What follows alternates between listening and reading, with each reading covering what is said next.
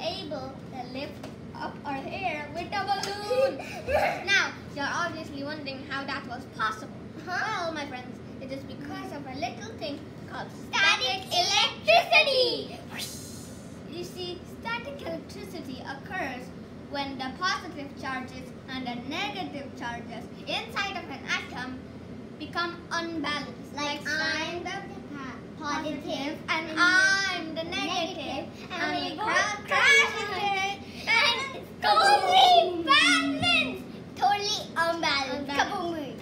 Now, some objects such as skin, wool, glass, and human hair are able to make static electricity.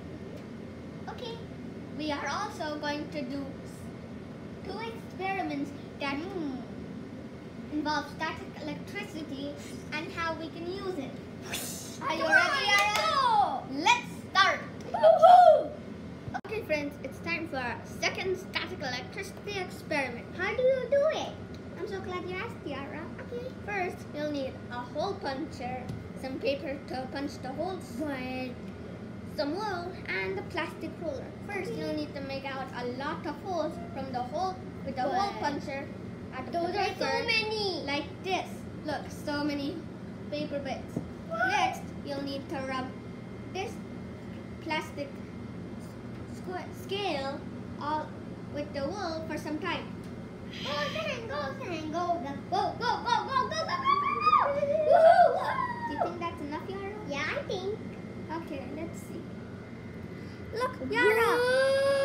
The paper bits are sticking to that scale. How is that happening? Well, maybe it's because since wool is another object that conducts static electricity, it's you, it can it made the ruler have static electricity in it and making the paper bits get onto it.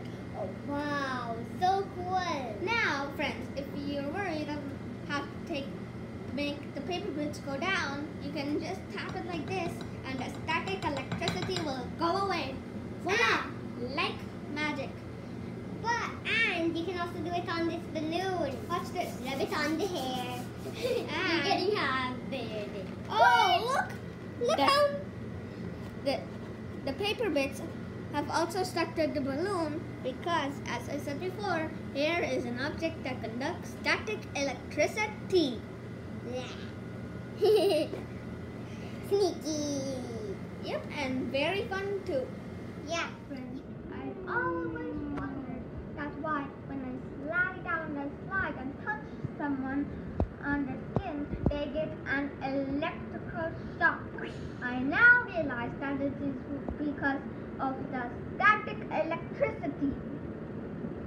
See, you can ha- prank some your friends by telling them you're a magician, and you can play these and also have fun with these experiments.